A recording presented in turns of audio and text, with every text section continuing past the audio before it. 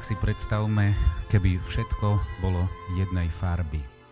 More, rovnakej farby listy, bajty je jesenné, alebo celé Slovensko jednofarebné, hnedé, červené, modré, nuda čo len pomyslieť, ak nie ešte o mnoho horšia predstava. Ja teraz pozvem na pódium tých, ktorí spôsobujú, že Košice a ich okolie je o mnoho pestrejšie a nie je ani len čierno-biele. Z Mexika, ale pritom len z nedaleka, prichádza k nám Laura.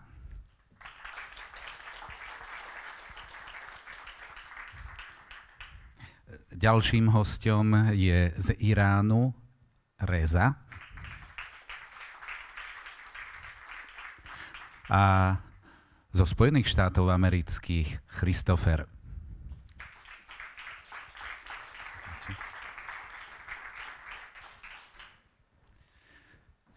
Teraz by nás zaujímalo, ako sa taký Američan dostane do Košíc, krajina tisícich možností a vy prídete sem.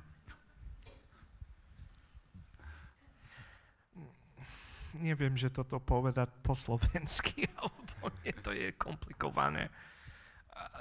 Aj jednoduché. Tak, uh, len tak, ja som prišiel tu prvýkrát v 2001, ja som mal 18 rokov, um, som bol raz v Anglicku na týždeň, aj v Mexiku som bol niekedy, keď som bol veľmi malý, lebo moja teta býva v Kalifornii.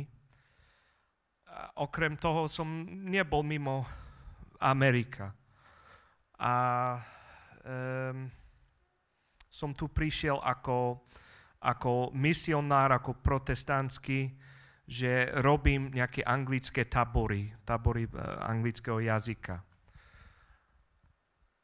Ja som nevedel ani nič o Slovensku, že ja som vedel, že existuje a že kde v Európe a som tu prišiel uh, uh, unavený, smutný, lebo, lebo um, som ach, tak som nechal v Amerike rodinu a mámu a všetko.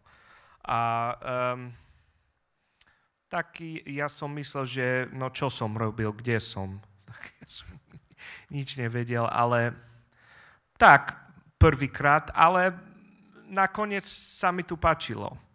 Ja som prišiel ešte raz na druhé leto, 2002, potom 2004 som chcel tu pracovať ako, ako učiteľ taký anglického jazyka.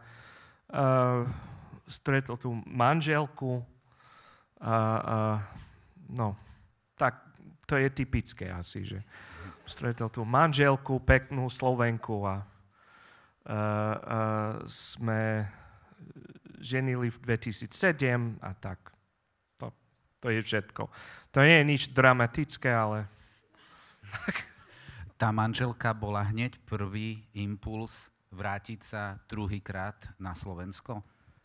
Tak druhýkrát uh, sme sa poznali, ale uh, len tak trošku. Ale keď som prišiel tu v 2004, ja som myslel, že len na rok prídem. A začínali sme rozprávať, sme boli kamaráti a tak, že no, asi aj druhý rok tu budem. A nakoniec, tak po 11 rokov, tak ešte som tu. Tak. Laura, ako si ty prišla sem? Ja som uh, prišla s uh, rodi, ro, ako moja familia. So svojou rodinou? Som, aha. Uh, manžel, manžel je Slovak z Košic. A on si ťa našiel v Mexiku? Nie, nie, nie. My sme sa poznali v Barcelone. Uh, to bolo 1999 sme sa poznali. My sme boli na doktorantské štúdium v Barcelone a tam sme sa poznali.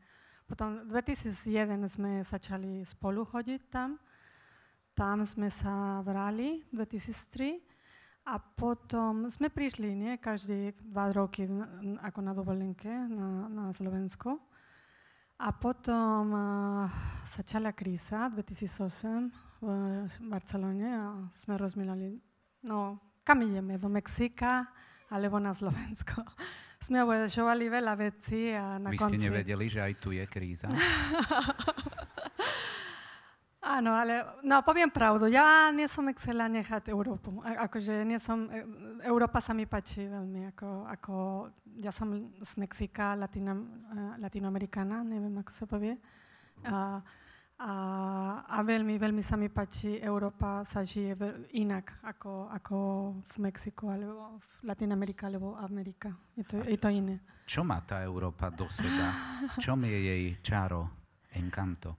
A, no neviem, a ideš po ulice a to akože nem, je, sú bezpečné mesta, kde žiješ a, a ľudia je veľmi, ako tá kultúra je, máš veľmi ako acceso a la kultúra.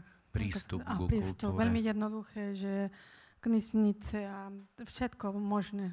Ako, aj v malých dedinách tiež máš toto. Ne? v Mexiku iba na veľká mesta máš, máš tie, ten prístup, nie? A tu v každej malej dedinke, nie? no, no.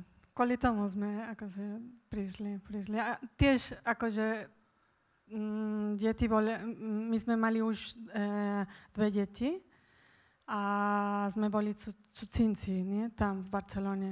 A my sme mysleli, že je dobré, keď deti vyrastú ako bližšie ku babka a jedo.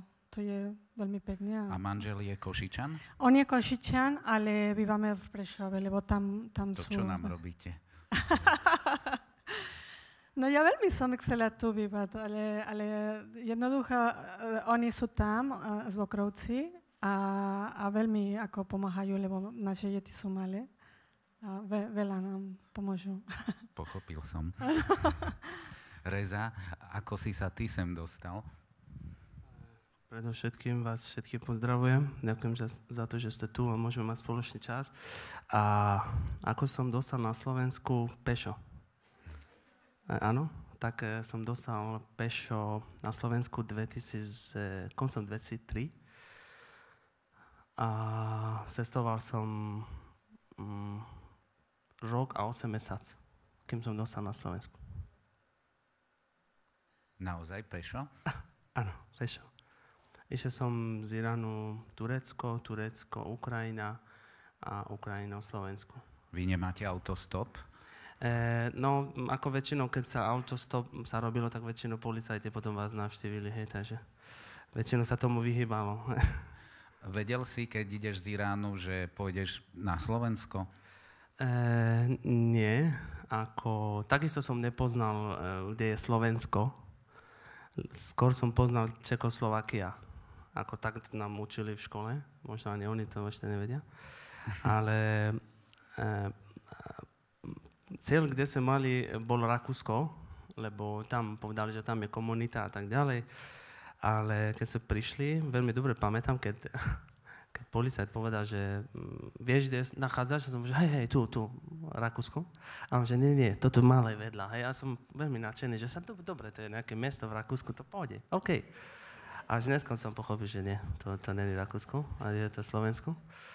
Ale dobre, dobre, takisto ako e, mal som mm, komplikovanejší život, ako mm, naučiť jazyk, lebo to je úplne odlišný jazyk, náš jazyk so slovenčinou. V Iráne sa hovorí po arabsky? Po persky. Po persky. A tak uh, som nepotreboval veľa času, lebo ja som taký, že um, nemal som problém s priateľmi, tak som mal veľa priateľov. A jedna vec, ktorý mi veľmi pomáhalo, čo sme um, bavili o tom, bolo, môj učiteľ bol v určitých častiach ICQ. Pamätáte? ICQ. To bolo najlepší priateľ môj, ktorý mi pomáhal naučiť po slovensky aj písať. A odkedy je není v trend, tak moja slovenčina ide dole. Takže No, takže tak. Ale necítiť to. A čo bolo najťažšie, Kristofer, pre teba? Čo ti chýbalo, keď si už začal žiť tu, možno už navždy?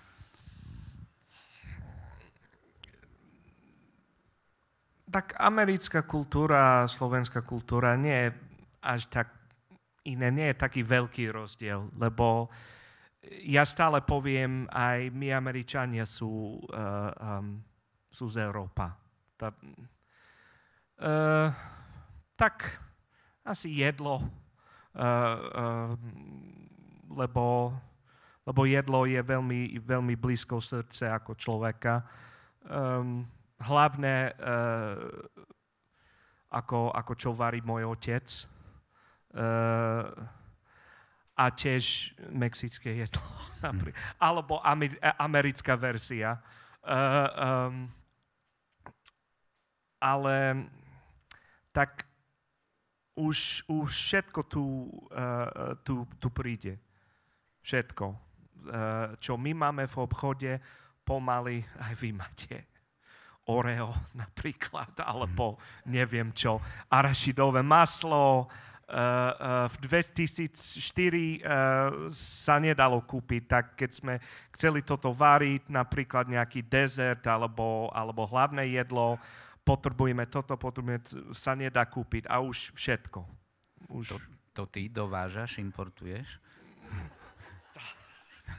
Neviem. To je dobrý. Tak ja nie, osobne nie, ale, ale uh, uh, asi, asi veľký hluk som robil, alebo čo, že treba tu arašidové maslo a Oreo. Nie, ja Oreo nemám rád veľmi, ale, uh, ale uh, um, tak to je, to je asi maličkosť, ale to je ale už tretíkrát si ju spomenul. Hej. Dôležitá vec je jedlo. A okrem toho, tak samozrejme rodina.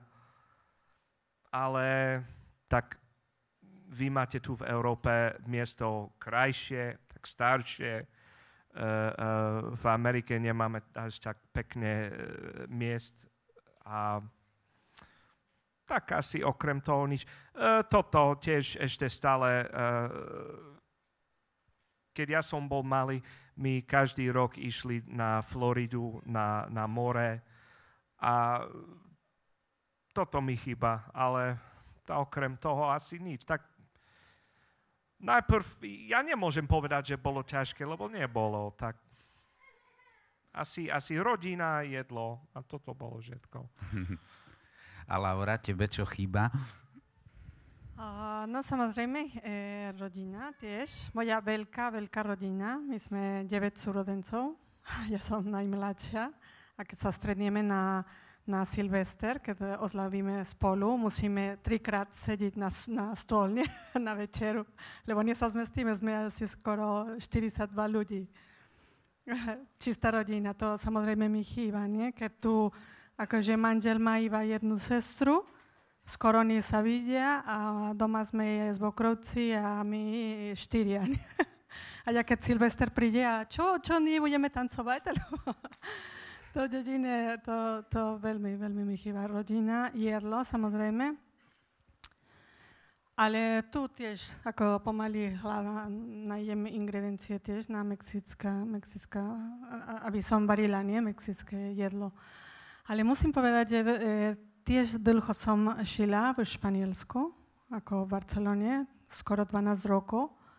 A okrem rodina a jedlo, čo je veľmi ako blízko srdce, ako, ako sa hovorí tu. A veľmi mi chýba Barcelona ako mesto, ako more, že 5 minút asi, na, alebo cestuješ pol hodinu asi nadherné pláž na Costa Brava. A, a jedlo akože mediteránske, toto mediteránska kuchyňa.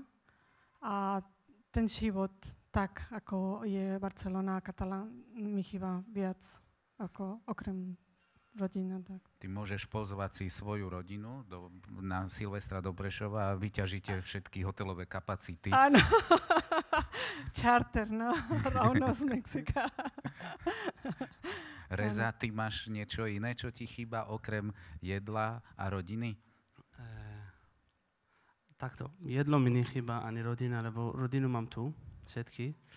Eh, odkedy som prišiel na Slovensko, som robil všetko, aby som eh, ich mohol doniesť ku sebe, aby sme boli pri sebe.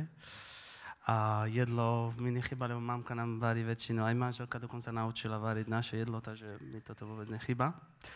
Ale samotní kamoši, priateli, ktorí som mal, hej, viete, ja som prišiel na Slovensku, keď som bol maloletý. A um, tak poviem úprimne, skôr si myslím, že už teraz, keď veľakrát idem na taký seminár, pýtajú, mám pocit, že som v Košecia doma. Keď som na západ, keď som takde v Rakúsku, alebo takde, eh, hovorím, že musím ísť domov. On že, eh, ty ideš do Iránu? Nie, nie, idem do Košec. Takže tu si tým doma. Mám tu veľa priateľov, veľa kamarátov, nový, veľa nových vzťahov. Hej, a, a naozaj môžem povedať, že tu poznám viac ľudí, než keď som bol v Iráne. Takže tu som doma. A keď si nahováral svoju sestru, myslím, že tu je, nie? Nie, to je bratová manželka. Aha.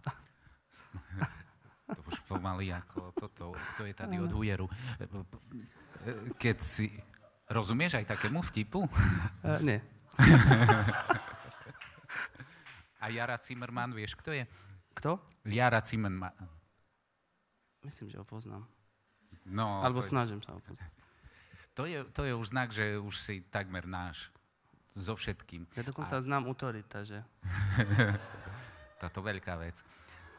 A keď e, si nahováral svojich príbuzných, aby sem prišli, uh, ako si ich prehováral? E, veľmi komplikované totiž nebolo, lebo celá naša rodina bolo pod tlakom. Tým, že sme kresťania, tam sme, teda rodičov prišli o všetko a tak automaticky potom brat, ďalší brat, sestra. Takže, takže chceli, každý chcel, potreboval začať nový život, hej, lebo to je takto. Asi vidíte teda dnešná situácia, aká je. Um, tam sa nestretnete s takou láskou, možno by som povedal. Skôr ste pod tlakom, každodenný. Prosto za každú jednu vec, každý, každý, kto je za vládou, môže vás týrať. Takže nebolo veľká mm, taká komplikácia, aby som ich mohol prihovoriť, že príďte tu, lebo tu proste oni videli, že proste sme kľudní, nebojíme sa, máme pokojný život. Ale či ti nehovorili, že, že poďme mi radšej do Nemecka? E, e, takto. Hmm. Akurát je to taká horúca téma, aby som to nemusel nejako takto vyjadriť. E, tak do Rakúska. E, no, e, nám, nám záležalo na to, aby sme mali život bezpečí. Čo je pre nás podstatné to, že nemáme tu napríklad iránsku ambasádu. Hej? Takže toto bol pre nás podstatný. A jedno vec sme naučení ako rodina, že, že prosto, kým si mladý, vieš znova reštartovať. Štartovať prosto. Hej. Lebo ako rodičia tiež boli podnikatelia, takže oni spadli a znova stali, spadli a znova stali. Takže pre nás nebolo problém, kde sme. Takže takto že pre nás skôr bolo podstatné bezpečnosť a to prijatie. Keď ty si muž povedal, že tu je to v pohode, tak oni ti verili e, Takto. Ako keď som im povedal pohode, oni ako neboli, že oh, super, tak zajtra ideme. Ale to samozrejme trvalo, hej, lebo prvá vec bolo to, že sme ich nechali, že možno proste, lebo každý z nás, teda ja ako nie, ale rodi, bratia, oni podnikali, takže prosto oni povedali, že uvidíme, jak to bude, možno štát na nás netlačí a prosto ideme ďalej a život bude kľudný. Ale prosto automaticky, jak my sme zmizli, teda ja mamka otec, e,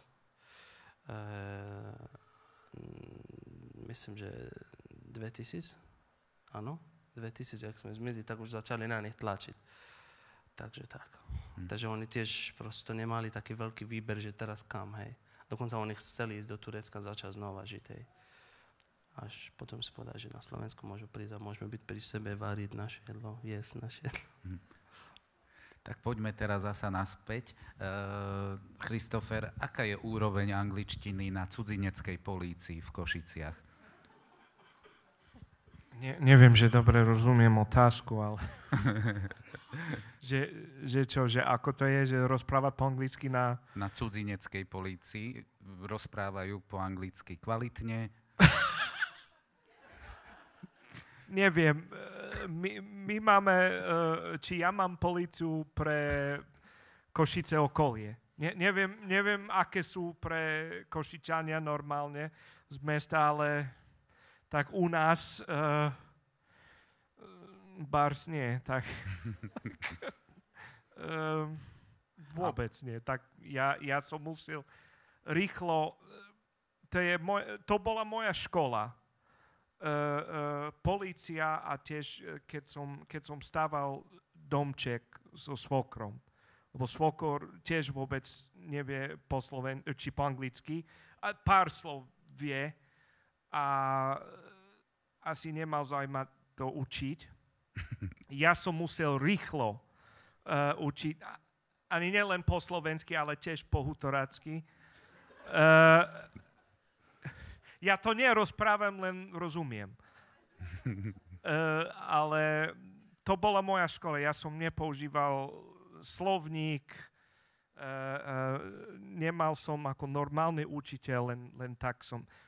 Neviem, že dobre bolo, tak vy musíte to povedať, ale, ale to, to, to bol môj metód. Tak, uh, a na policii tak tiež bola hodina stále uh, uh, slovenčina, lebo po anglicky nie, vôbec. Neviem, že asi to je už, to po, je po persky neviem, alebo čo, ale, ale po anglicky nie. A že sa tam naučíš po slovensky, to je už v cene kolku. No, určite, určite. A e, Laura, e, e, zažila si nejaké také veci, ktoré by mohli viac pomôcť tebe, aby si sa tu adaptovala, aby si sa cítila vítaná? To veľmi zaujímavé, že v Prešove napríklad moje uh, najlepšie kamarátky sme sa stretli ako por koincidencia. Ako, náhodou? A náhodou. A oni po španielsky rozprávajú super.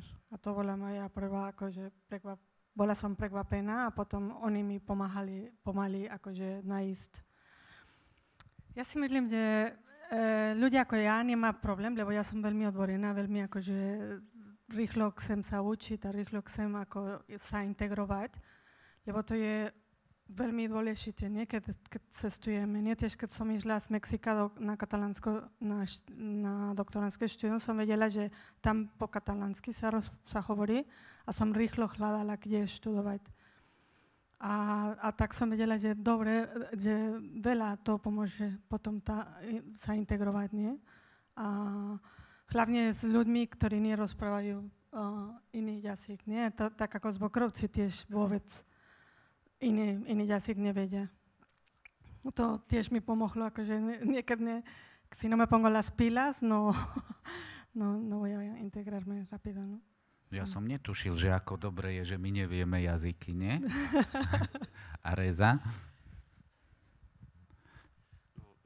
jak si pýtal ohľadom tie policajtov, bol som v Bratislave a tam je veľmi komplikované, čo sa týka cudzineckej policie. Dlho musia čakať, to nič, hej. Teraz ráno príde a tým ľuďom, oni sú študenti a proste ľudia, ktorí fungujú 90% po anglicky v Bratislave a teraz prišla pani. Vy akože, ale mi lezete na nervy. Ani jeden neviete po slovensky. idem za pani, že pani, to je sudzenecká policia, vy neviete po anglicky. A vy ste kto? Mám, že ja nič, ja nič nechcem. Takže mm, ako tak, čo sa týka v uh, angličtinu, um, u nás policajti. Ale otázka bola čo? že, že čo práve by pomohlo sa adaptovať, ale keď je málo otázok, tak je tu Renátka, asistentka, ktorá môže aj vám dať papierik a pero a tak už stvoríte možno aj tú vašu otázku, ktorú môžeme zaradiť do nášho rozhovoru. Renátka sedí tam pri kamere číslo 7, ich je či koľko? Otázka bola, e, čo pomôže adaptovať sa cudzincovi u nás, okrem policie. Myslím, že ten jediný nepomôže. Nie, ja už viem, že to robia schválne, lebo treba sa naučiť poriadne. Áno, áno. Ako, dokonca to je heslo, nie? že na Slovensku po slovensky. Áno, to som sa vedel hneď. Ale, Ale mm, čo pomôže ten, vytvoriť naozaj ten vzťah, hej? Lebo mm, automaticky človek nájde... mm, To, to, dobre, toto je výhoda, že tu, mm, hlavne na východe, nenájdete až tak veľa komunít. Ako čo sa týka napríklad, nestretneš, neviem, 5000 Američanov, možno dokopy aj 10-20. Irančanov už e, možno len dokopy 5, 4 a už iných národov takisto. A čo pomôže naozaj vytvoriť ten vzťah Slováci, aby s nimi vytvorili ten vzťah, aby, aby nesytili alebo zabudli pomaly na to, že chyba im domov. Hej, lebo človek sa cíti tam domov, kde je prijatý. Hej, kde cíti to lásku. A pre mňa bolo uh, ten priestor otvorený, keď som bol v zbore, ako u nás v zbore, u mládež, tak oni začali o mňa zaujímať, pýtať sa, odkiaľ som a, a tak ďalej, hej. A, a to bolo pre mňa také, také, čo mi pomohlo a samozrejme potom som sa oženil, tak už to bolo jasné, že chcem tu ostať. A udržiavaš kontakt so, e, s ďalšou svojou rodinou? Um, veľmi nie, ako tí, ktorí sú, takto, ja som kresťan a oni sú moslimovia, skôr s tými, ktorí sú otvorení tomu. Tí, ktorí berú na stále, že fú, ste to, to robili zlé, toto je zlé náboženstvo a tak ďalej, tak veľmi nie. Hej, volajme sa ako skôr s rodičmi, lebo keď som mnou rozprávať, tak veľmi im hovorím o Kristovi, tak sú veľmi, nie, nie sú veľmi nadšení tak eh, skôr s rodičmi rozprávajú, ale držíme nejaký taký kontakt. Hej, taký. A tvoji príbuzní môžu mať nejaké problémy z toho, že ty si emigroval? E, dnešný deň nie. Dnešný deň je to, je to veľmi zriedkavé, že by možno niečím takým oni zaoberali. Toľko oni sú zamyslení na to naftou, aj bombou a neviem, všetko tie veci okolo toho ako, ako získať čím viac peniaze, že to sú pre nich maličkosti, hej, že, že, že veľmi tomu nezaoberajú. Že keby, kto s kým kontaktuje. Keby Irán zmenil politiku a kresťania by boli akceptovaní úplne, rozmýšľal by si, či sa vrátiš? Rozmýšľal uh, som o tom, či by som chcel vrátiť, nie. Uh, viete, takto. Uh, vy, keď uh, vy keď idete takde na dovolenku a ste tam 10 dní, pre človeku je ťažko vrátiť. Hej, už za, začína zvykať. To bola moja voda, ale nevadí. A ja som to, ja som od, ja som zobral, to som, pohode, ako mne to osobne nevadí, ja nemám svoju, herpes. lebo budú ne, ne, ako len oznámim, že by nebol problém z toho, ale ja nemám problém z toho. Napíšeme ale, menovky na budúci. Áno, ďakujem na budúci. Plastové, plastové farebné by mohli. Ale mm, nie, už som, už Nehovorím to preto možno, že teraz sedím tu a sú tu košičania, ale to, že cítim tu domov. A viete, to prosto zmeny za každým mne. Ja som povedal manželka, jedného dňa, keď sa to stane, určite pôjdeme tam na dovolenku, aby som ukázal, kde som vyrastol, um, jak vyzerá Irán, ale tam nepôjdem. Proste ako žiť znova. Možno, keď hovorím Iránčanom, im to je, že si normálny.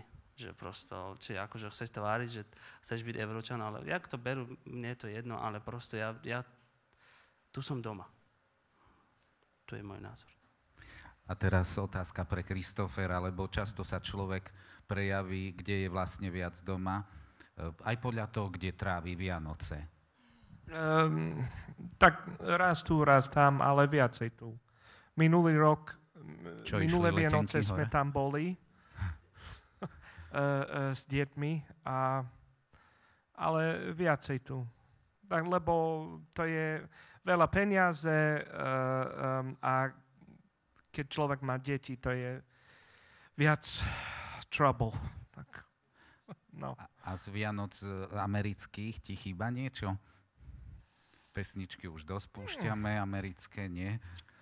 No, tak, lebo e, viete, to, to nikdy nebude, jak bolo, keď som bol malý tak ja musím to akceptovať. Aj keby som tam býval.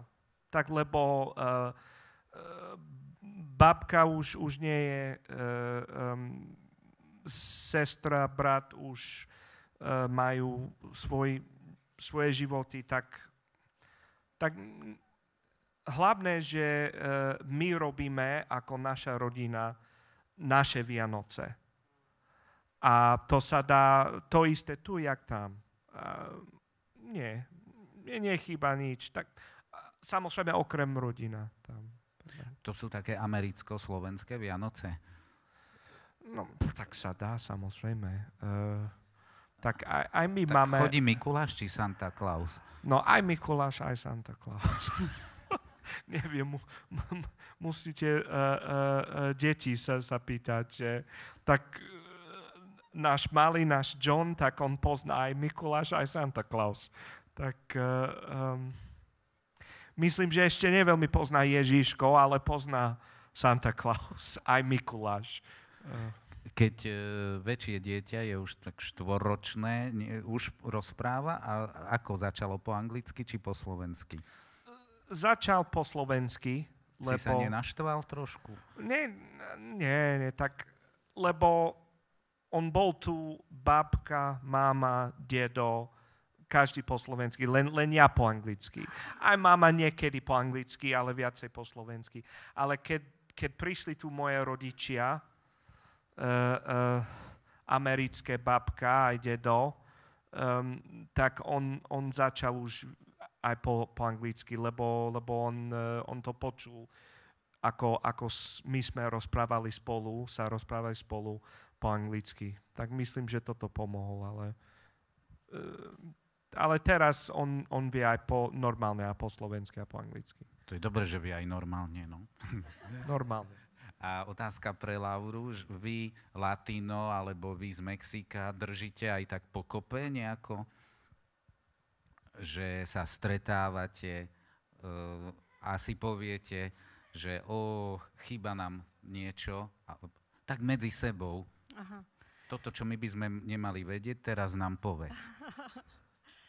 Aj, ne, nerozumiem, nerozumiem uh, otázka. Si os juntáis vosotros como latinos y si habláis de nosotros aquí. nie, nie, lebo nie sú veľa akože uh, latin, latinské ľudia. Tu, ako napríklad v Prešove uh, sme asi traja a skoro nikdy nie sa stretneme. Uh, akože nie, nie, nie, ja som robila akože 3 alebo 4 roky predtým, že aj prečo nie, nie sa stretneme a zlavíme napríklad a 15. septembra, no, že je veľmi silné v Mexiku, lebo je, keď sme mali um, independence. Nezávislosť. So, so Španielska a to slavíme, že nechcem povedať ako malas palabras, nie? Sa... Škaredé slova. Tabu word. Ale oslavíme 15. septembra, že Viva México, píp. lebo sme boli už nezávislí. A ja som chcela to začať, ale nie, nikto nie. nie. Žiadni tí ostatní dvaja nie, nie, neprišli, nie. hej? Nie sa stretneme, nie sme, nie sme veľa, vážne. Ako... A, tu je Fiesta Latina veľmi populárna v Košiciach. Tu v Košiciach. Áno. Toto tiež mám, ja si myslím, že keby sme bývali tu v Košiciach, by bolo trošku akože um, ľahšie no, sa stretnúť, uh, lebo tu je komunita, poznám napríklad a Peru, z Peru, nie? ako sa volá José, José. To je veľmi super ako človek, ale on žije tu a ja žijem, žijem tam. Nie? To jedine, keď príde, tam organizuje party v Prešove, tam, tam sa stretneme. Ale... A vtedy sa cítiš trošku ako doma? Áno, samozrejme, lebo my ako, neviem, nie všetci samozrejme ako Mexičania, ale 98% asi podľa mňa máme hudbu a, a rytmus uh, um, como en v srdci? Interior, sí, sí. Mm-hmm. Áno, to vám aj závidíme. No a teraz otázka pre Rezu. Aké sú pozitíva a aké sú negatíva slovenskej povahy, natúry, Ty, keď to povieš, bude to objektívne. Uh, dobre. Tým, že som už viackrát si povedal, tak uh, budem aj tu otvorený. Uh, negatíva je to skôr, že slovenský národ nevie veľmi bojovať, po čom možno túži. Hej. Prosto príde prvý tlak, prvý voľna a on sedí, že stiahne to je taká negatívna, ako ja to vidím. Možno e, e, máme rád Fico, aj, ako ja ho mám rád. ale mm, celkovo myslím, že prosto mm, uh, manželka mi dneska pýtala akurát, ale ja si naozaj cítim tým, tým, že tu žijem už 12 rokov, tak a ja mám právo prosto, aj mne sa to týka automaticky, aj ako príde nová vláda, ďalšia vláda, aj ďalšia vláda a tak. A prosto ľudia um, nebojujú za to, čo, čo vedia je pravda. No, to je jedna taká negatívna. A pozitívna je to, že uh, sú takí, uh, očkať, jak sa to povie po slovensky, takí, že otvorení, že radi príjmajú. Nie, nie, nie. Skôr príjmajú ľudí, hej. Ako takto. Je to znie ako opačné, ale ja keď stretnem vonku s ľuďmi, ako v, v zahraničí hovoria, že ah, slovenský národ toto nechce zahraničný, ale to je práve to, čo vidia, to je vláda. Ale ako ľudí, ktorí stretávam, sú opač, opačne to, sú otvorení vzťah so zahraničí, zahraničmi a proste spoznať ich. Hej, a, a zvlášť e, je to také naozaj možno, a, áno, kde to bolo? Áno, áno, ďakujem. Pohostiny, nové slovo som naučil. Ale že na, skôr na východnom Slovensku, nie že urážka voči západu, ale že tam život je iný, iný, iný úroveň má úplne. Hej, ale tu, tu je, čo mám rád ja, ako na východe Slovensku, že ľudia sú na vzťahu. Hej, že proste stretávam, kde je Ferry, jak sa má, jak žije, idem na pivo, lebo to sa patrí, hej, to proste raz do týždňa musí ísť. Hej, ja nepijem, ja pijem kofolu, hej, aby ste boli. Ale že prosto tak, hej. Mhm. Dobre, si spomenul Fera, takže Christofera asi. Súhlasíš tie isté pozitíva a negatíva u Slováka ako typická črta? Ako, akože, akože worldview, ako, ako, ako myslia, tak, no, tak pozitíva, negatíva tak existujú. Uh, Nič sa nestane, povedz. nie, nie, nie, nie, je ťažko, pre mňa je ťažko to povedať po slovensky, uh, uh, lebo to je taká uh, ab, abstraktná vec, tak um, Môžeš aj po anglicky, keď ti pomôže, lebo tu pri A neviem, Rezovi som sa bal, po že po persky tak, musím pomáhať. Uh,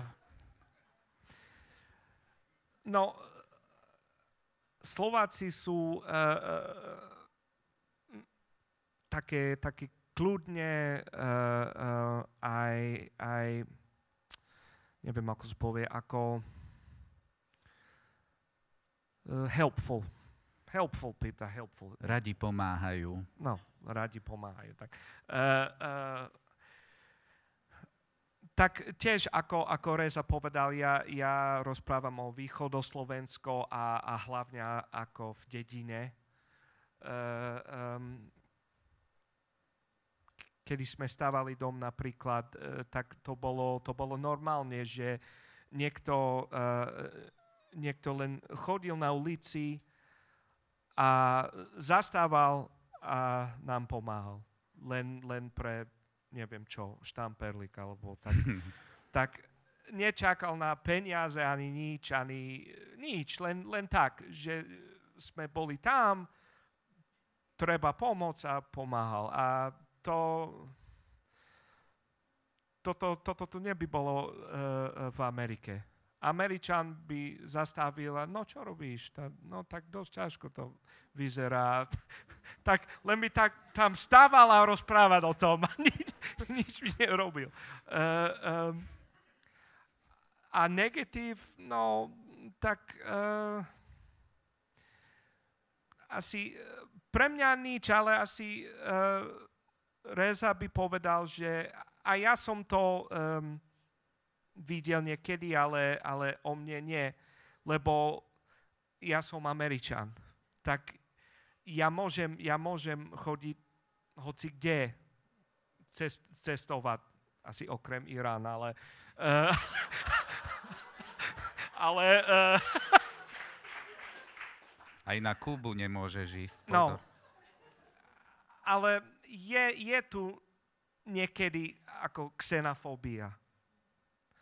A neviem, že...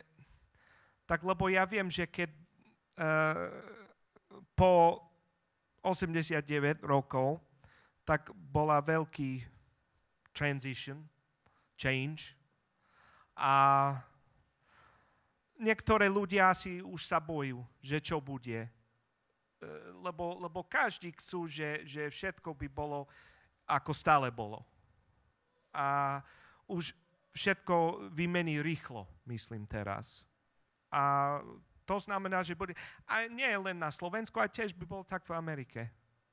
Xenofóbia. Lebo ne, nechceme, že, že všetko by vymenilo tak rýchlo. Ale nemôžem to zastaviť, sa ne, to sa nedá. Neviem, že dobre povedal, ale...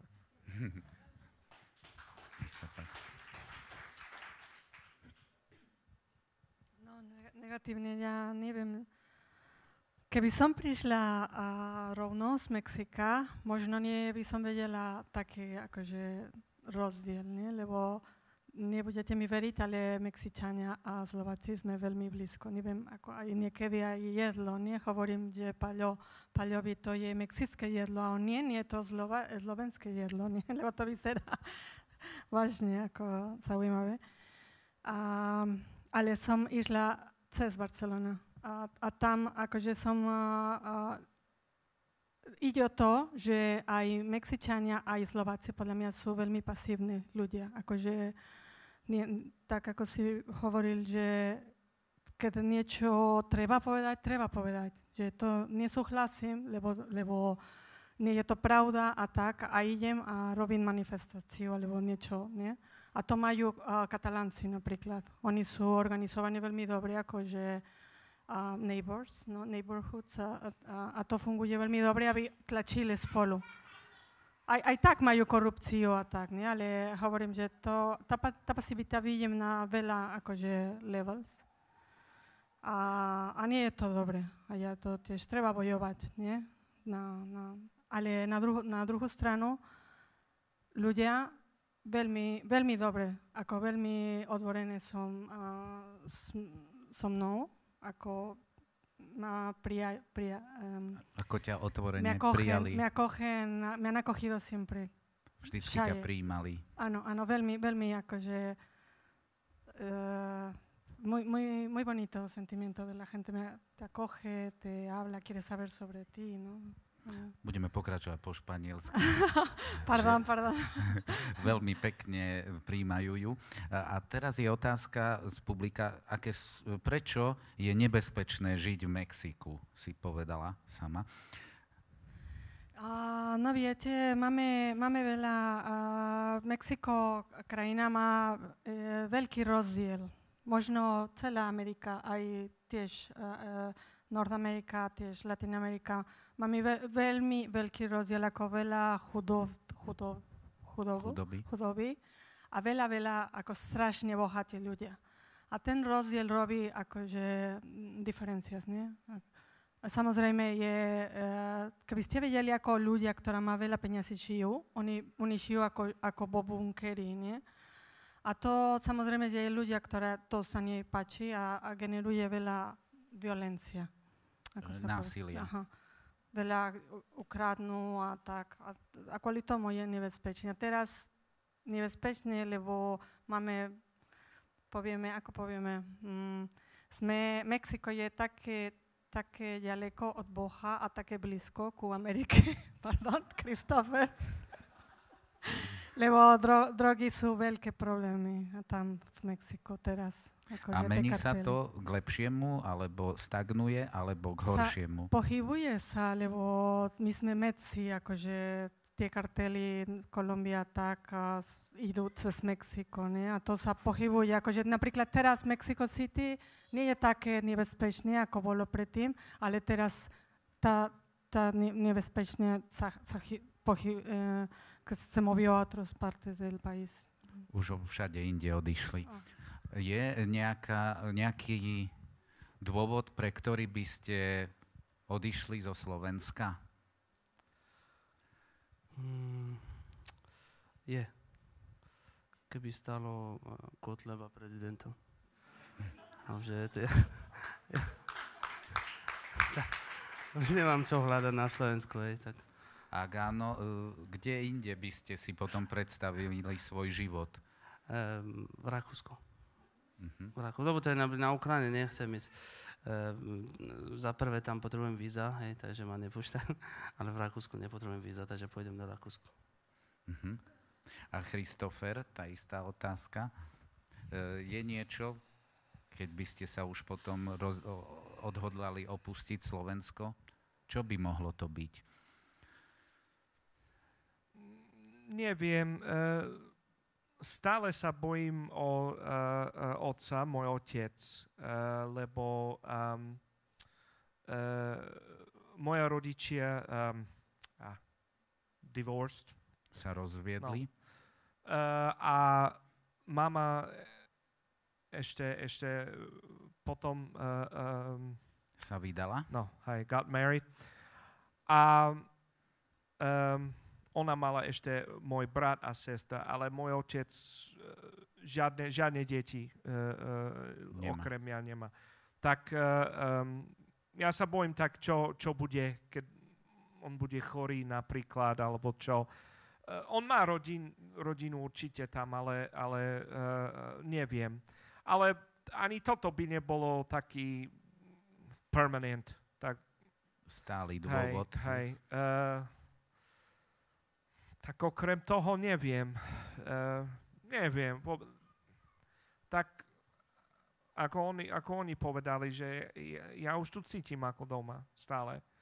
Lebo keď pôjdem do Ameriky, stále pôjdem do, do inej Ameriky, jak bolo. Uh, uh, už, už neexistuje uh, um, moja Amerika, ako kde som sa narodil a, a, a som vyrastol, už neexistuje. A, a aj manželka by povedala, že stále keď sme tam týždeň, dva týždne, ja poviem, jo, ja by som chcel ísť doma už. Ej, a, a tak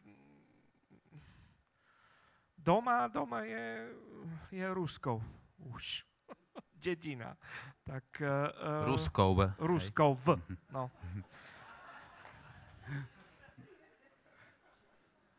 Uh, uh, je dobre mať v tom jasno. Tak t- mus, by musela byť katastrofa veľká. Naozaj.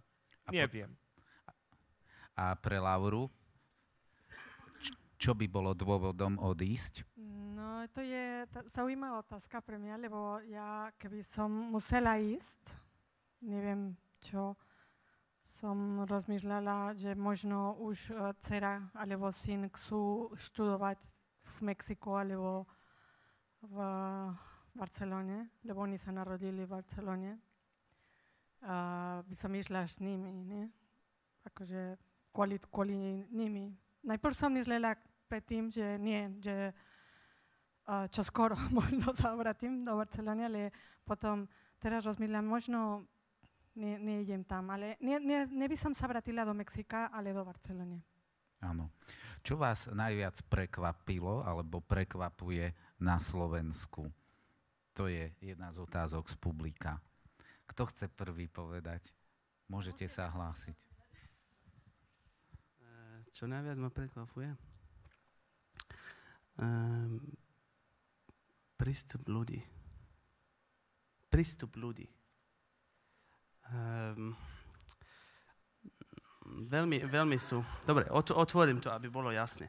Um, ako som asi aj spomínal, aj, že veľmi plýva správy, novín a okolie. Hej, možno pred e, tromi rokmi taký problém aj som tak nemal a už naozaj dlhší čas Eh, som nemal problém s tým, že ľudia na mňa pozerali, že hm, či vybuchne alebo nevybuchne. Hej, e, naozaj, e, to je teraz in nosiť bradu. Nosil som to dokonca, ale naozaj som mal pocit, že v autobuse, kde ja sedím, tam nikto nesedí, tak som rozhodol, že dám ho dole. A, a toto, že rýchlo, že pff, som naozaj nečakal, že toto jeden taký, taký, taký správ dokáže človeka tak rýchlo zmeniť, hej. A, a toto bolo pre mňa šokujúce. Ale kamaráti sú takí istí ako predtým, tí slovenskí. Predo mnou sú takí istí stále. Myslím, že aj za mnou. Hej, myslím, že tak. Ja to dozviem. Ako, ne, ne. Ten druhý mi to povie, že no, ten je taký. A čo Christofera najviac prekvapilo alebo prekvapuje? Um, tak už, už dneska asi nič, ale, ale od začiatku, od začiatku asi, asi ako, ako veľa sa tu mi páčilo. Lebo ja som nečakal, že, ja som nečakal, že, že Slovensko, Slovensko bude, bude hrozné alebo čo, ale ani, ani tak ja, ja som myslel, že tu prídem ako uh, pár mesiacov a bude dobrý uh, experience. Uh, Zážitok. No. A potom pôjdem domov a, a potom mám nejaký príbeh pre moje deti, že som raz bol na Slovensku a toto bolo dobre, ale naozaj to, to bolo super tu. A ja som, ja som to nevedel, že tak bolo. Uh, ľudia boli takí uh, um, friendly, uh, že nemal som problém uh, s ním rozprávať, akože aj keď sme ani nepoznali nič, že a určite to bolo, že ja som Američan, že ako cudzinec, no čo, čo tu robíš, ale to bolo super. Uh, a okrem toho asi nič, lebo lebo ja som taký človek, že ja na nič nečakám, ja len, ja len stále, že no čo bude dneska, ale ja, ja nemám expectations. Očakávanie. Hej, hej. Asi tak. No mňa veľmi stále prekvapuje a to prekvapilo na začiatku, že ľudia akože nič, nič nie ti povia. Ne, e, neviem, keď vedia, že máš problémy a tu a, chápať nejaké veci na materskej škole, napríklad nie som vedela ten systém, ako to funguje a, a nikto, nie, všetci sa dvarali, ako nie som tam. A, nie, a to ma prekvapilo, nie? lebo ja keď vidím, že ľudia potrebujú pomoc, tak ja neviem, či nie rozprávam jazyk, ale sa snažím, aby pochopili a ma prekvapí ešte, že niekedy um, sa stretneme s ľuďmi, ktorí sú zatvorené. Ale musím povedať, že niekedy a veľakrát to sa stane, lebo ľudia sa hambia. Sa, oni sa hambia. Aj študenti na fakulta umení tuke, niekedy rozmýšľam, aké, aké sú zatvorení, nie? že nechcú so mnou rozprávať, ale nie, oni sa hambia niekedy. Nie? A vy nepijete v Mexiku? Ako? vy nepijete v Mexiku? Prečo? Lebo sú také lieky proti hambe. Áno. Ako ľudia v Mexiku tiež, oni sú, sú handliví, nie? Sa povie. Sú. Ale menej? Nie, ako tu, ale sú ako tu, ale ja, ja poviem, že ja som prišla z Barcelony, ja som prišla akože už iný, mala som iný čip, nie? Katalánsky čip som mala. A sleduješ aj, uh, že si bola v Katalánsku, že čo je, majú sa osamostatniť, nemajú sa osamostatniť. Už aj tak rozmýšľaš, lebo aj tam máš trošku domov. Uh, no, no entiendo, perdón. Si deben independizarse los catalanes. Ah. A teraz uh, uh, prišla nie katalánska uh, akože dizajnerka dať nejakú prednášku a sme diskutovali, lebo to bolo veľmi blízko niečo, čo a tak. A, a tak, ako sme šili, a ona hovorila, že vieš čo, už, už sme unavení, že niektorí ľudia možno predtým nie, ale teraz hovoria áno, lebo už sme unavení, že to je taký... Aj nás chcú unaviť politici toto. áno tlačia veľmi na, Katala, na Katalónia. Tak. Ešte ak máte nejaké otázky, je tu Renátka, ktorá vám môže dať papier a pero. A medzi tým je tu otázka z tých, e, ktoré máme radi. Vtipný zážitok, ktorý sa odohral už tu.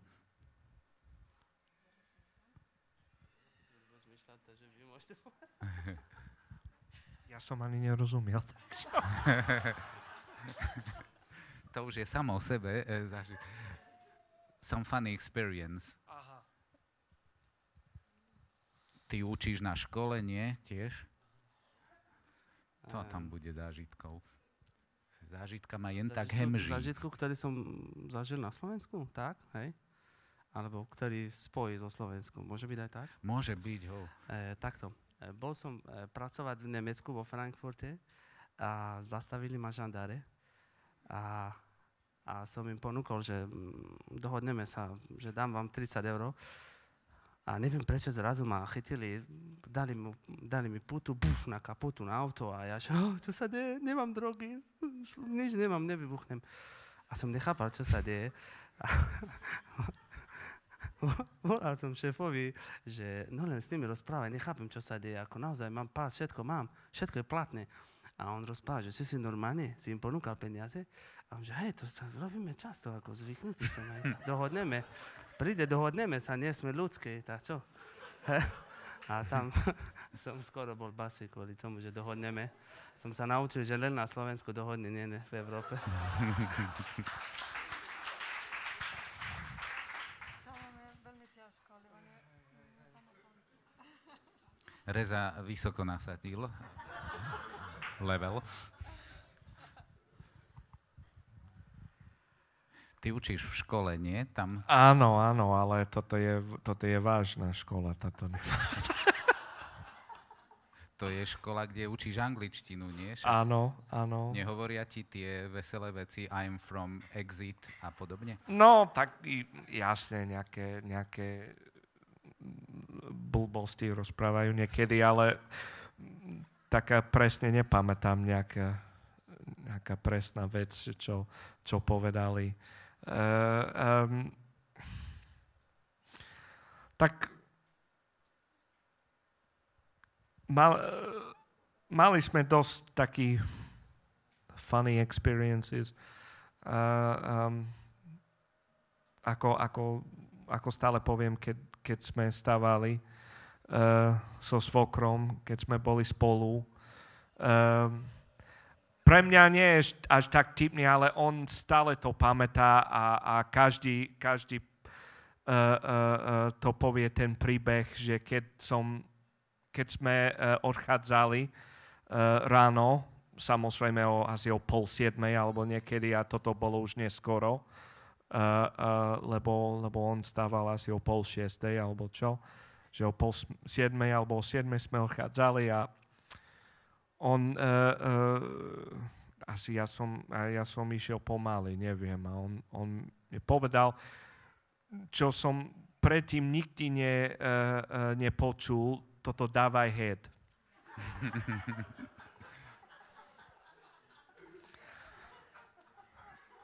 A ja, ja som vedel, že niekedy on, neviem čo, mixoval taký aj slovenčinu, aj angličtinu a ja som, ja som počul dávaj hat, akože klobúk alebo čap.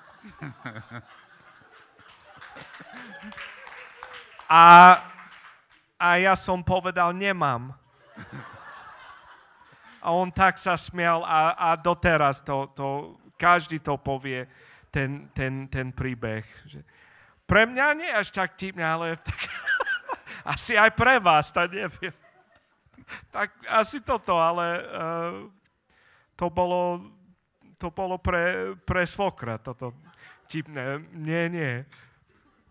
Laura, dávaj head. Nemám. No, pardon.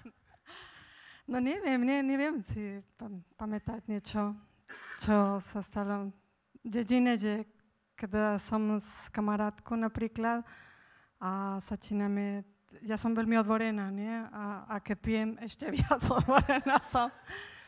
A napríklad ja som vedela, že tak, lebo ja ako veľmi otvorené rozprávam, nie? Ona nemá priateľa a ja keď vieme, že nejaký pekný chlapec, tak vždy sa spýtam, nie? a ty nemáš priateľku, lebo tu mám priateľku. A, a ona, prestaň, Laura, prosím, že, že tak, nie? Jediné to mi napadne, ne, mi napadá teraz, že Áno. že medzi zl, e, Slovenka a, a Mexičanka ja som veľmi odborená niekedy. Demasiado. Príliš, áno. Ešte vaše posledné otázky poprosím. A e, cítiš sa ešte stále cudzincom, Christopher? Tá teraz áno. Eh, lebo, lebo oni oveľa viac uh, uh, vedia po slovensky, jak, jak ja lepšie vedia, ale um, nie. Nie. Tak len nie. A teraz, a teraz otázka len pre teba. Ako hodnotíš doterajšie prezidentské kampane? Čo si myslíš o Donaldovi Trumpovi? Prepač, také tu bolo. I, Uh, ja, ja, len, ja len čítam o prezidentská kampaň, lebo, len, lebo musím, lebo je všade. Na internete uh, idem na, na Yahoo alebo tak, kde, že pozerať ako noviny a polovica artikály sú o, o, o toto, lebo nie je jedno už, ale Trump je, no tak, tá čo, čo, Trump je ako šašo, tak on je tak, že... Fakt je taký Trumpný. Že on, on, on povie také, také trápne uh, veci, že you, you can't take it seriously. To, to nie je vážne. To je, že ako ja, ja, nebudem, ja ne, nebudem nervózny o tom, lebo to tie smiešne, sú smiešne veci, tak prosíte, tak. Ale ľudia to majú radi asi, že musia mať nejaký entertainment. Nejakú zábavku. A toto je Trump, hej. hej. Reza, nebudem sa pýtať na tie voľby. Z, zajtra budeš na Polievkovom festivale? E, áno. A uh, aká bude tvoja polievka? E, moja polievka bude až. Je to taký, mm, taký náš tradičná polievka. Je to hustá a je to dobrá. Je to bezmesité, zeleninové, je to in, hej. Takže ochutnajte si to zajtra. A Laura, čo ty budeš variť? Uh, ja budem variť uh, fasolový krem fazuľový krem. Uh-huh. To je polievka? To je polievka, no.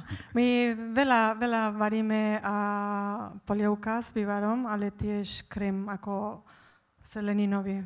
Všetko možné, cuketový, alebo všetko máme. A ktoré je tvoje obľúbené slovenské jedlo? Slovenské jedlo? A ako sa volá toto? Huspenina. Uh-huh. A ktoré je najhoršie? Oj, najhoršie, no neviem. Napríklad, nie, nie, nie veľmi mám rada, keď je mixované ako um, a sladko, sladko, ne napríklad kompoty s jedlom, alebo napríklad uh, cvikla. Na Veľkú noc veľmi ako sa trápim, lebo... Tak zjedz mimo Veľkej noci. no. Kristofer, čo ty zajtra navaríš? Uh, no tak teraz budem variť, asi do polnoci. Um, sa volá chili, to je tradičné v Amerike. Každý región, každý štát, každá dedina majú svoj spôsob, svoj štýl. Uh, ja som to učil od môj otec a to nie je bez mesti. um, tak, tak je tam paradajky, čili paprika, mleté meso, fazula, červená fazula, uh, nejaké koreniny, uh, cibula veľa.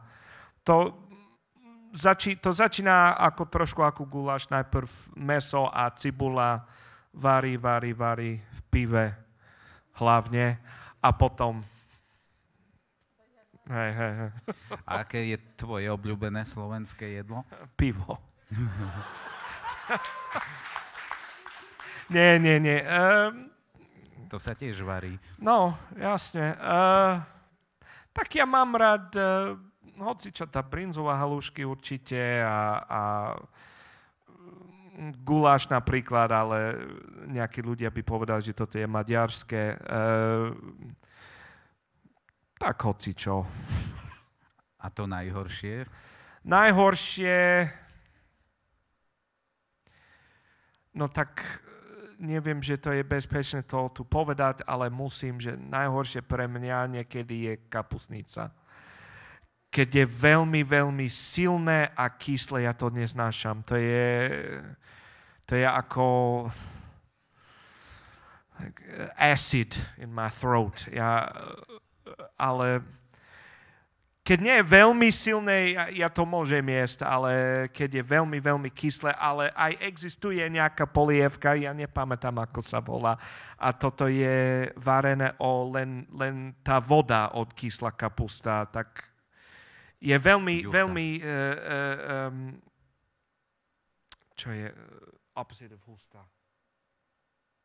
Aká? Uh, riedka? Hej, riedka polievka a st- ako, ako citrón, ako strašne kyslo. Ja to nemôžem, ale... My sme nevždy mali citróny, vieš, tu na no. Slovensku. No. a reza, obľúbené jedlo a neobľúbené? Obľúbené jedlo sú všetky, naozaj. Lebo ja rád celkovo jem. Celý čas tu držím to brucho, aby nebolo vidno. Ako, ale Eh, dve veci na Slovensku, teda čo sa týka jedál. Eh, som ako kuchár, povedal som aj učiteľke, že toto by som nechcel ochutnať. Jedna je koža od svine, jak sa, jak sa peče, je to jedia jak chrumky. Raz pamätám dobre, že kolega mi to dal do roboty, že daj si chrumky, to dám si. A dal som, aj. Bolo veľmi kruté, hej. Mal som čo robiť, aby to vyšlo vonku. Ale... Ah, ale druhé je takisto kapustová polievka a zase to je ten problém, že veľmi rýchlo ide vonku. Takže, takže tak. A e, ktorý zvyk sa ti páči, náš zvyk? Ja neviem, polievaš dievčata na Veľkú noc, také veci. Uh, jaký zvyk? Tradícia. Čo ja viem, ja som ženatý, veľmi nemôžem uliať dievčatá už teraz. Ale neviem, bratu, nechceš mi pomôcť tým? Dá, dávaj, hej. Ja, ja asi zabíjačka. Fakt? Uh, hej, hej, hej. Tam účinkuješ tiež? No, tak uh, uh, viacej leniem, ale pomáham trošku. uh, um, ale tak toto mám rád aj všetko, všetko o tom škvárky a jaternica, majoše, tak... A ešte tu je po anglicky otázka. Favorite area of Slovakia? Košice. Hm. Naozaj, Košice. Nech sa páči, Laura. Áno, tie tradície, tradície naše. Tradície, uh, viete čo, ja Počujete ma? No, dobre. Ja neviem prečo, ale uh, neznášam tradície ako v Mexiko. Mexiko sme vždy sa stretli na mm, Vianoce, na Silvester, ale pre, pre mňa, a keď si pamätám, vždy bola oslava, že ideme tancovať. A neznášam napríklad, lebo napríklad v, v, v Mexiko na Veľkú noc ideme na pláž, lebo sú mesiace, ktorý je veľmi horúco, ako v Mexico City. A už Veľká noc, Veľká noc a príde a ideme ku more, nejaká púlko a tak. A tu, keď mi poviete, že Veľká noc ideme sadnúť a jesť a jesť, no ne, nemôžem. Radšej by som išla mimo, ale nemôžem. Nemá nechať. A na Slovensku, ktoré máš obľúbené miesto? Obľúbené miesto? Uf. To je ťažko, lebo miesto na čo, lebo rada cestujem a vidím, a keď, keď cestujem cez celú krajinu, je to také krásne, ako také landscape, že rada pozerám nie, tie, ako krajina, ako sa zmení, tak neviem som povedala ako konkrétne, lebo to ide o to, čo, čo robím, nie? A, e, konkrétne. veľmi sa mi páči Slovensko. Ja si myslím, ako tie obdobie napríklad, keď sú také exotické pre mňa. Tá jeseň a tak? Áno, áno. To nemám nejako zima, nemáme tak. No a povedz ešte aj ty, už Christopher povedal, či sa cíti ako cudzinec väčšinou tu. Ty sa cítiš ako cudzinka? Nie, nie. Ja si myslím, že sme, sme taká krajina, kde sme a kde sme šťastní a kde sme nie? A keď komunikujeme s ľuďmi a keď sa učíme veci a keď my učíme veci, tá, tá je naša krajina. A teraz som tu a cítim, ne, necítim sa ako. Reza? Cítiš sa uh, cudzincom? Uh, takto, keď, uh, keď som na západe, áno, lebo tam mm, nestretávate s veľkou časti rómskej komunity, ale keď som na, na východe, tak už, tak už nie. To kedy, zapadám. Kedy sa Raz, to dva. začalo tak sa cítiť? Uh, kedy som začal to cítiť? Uh, cítiť sa tak nie cudzincom. To prišlo ja z ovládaním slovenčiny? Ale... Tak som prišiel tako, som cítil, lebo išiel som, išiel som a som, som hneď videl, že ako SBS kar ma miluje, ide so mnou, hej, proste drží so mnou. Má ma rád, hej, sleduje ma, aby som nespadol, alebo niečo nespadol so mnou, takže bolo hneď cítiť. Priatelia, ďakujem vám za vaše otázky, ktorými ste dopomohli, aby dnešný večer bol pútavejší. A zajtra na Polievkovom festivale, alebo aj teraz hneď bezprostredne sa môžete osobne pozhovárať s našimi protagonistami večera, ktorými boli Christopher z Kentucky zo Spojených štátov, Laura z Mexika, a Reza z Iránu.